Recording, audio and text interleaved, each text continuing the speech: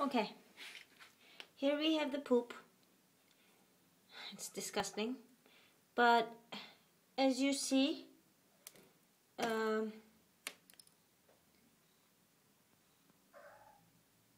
it is like any other poop. I mean, it is not like really sticky.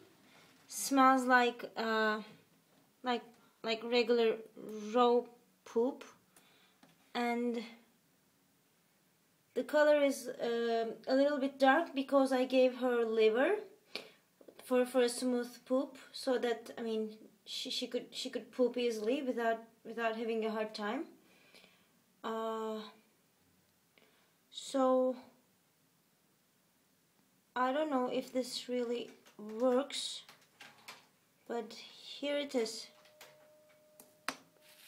Hope that is okay.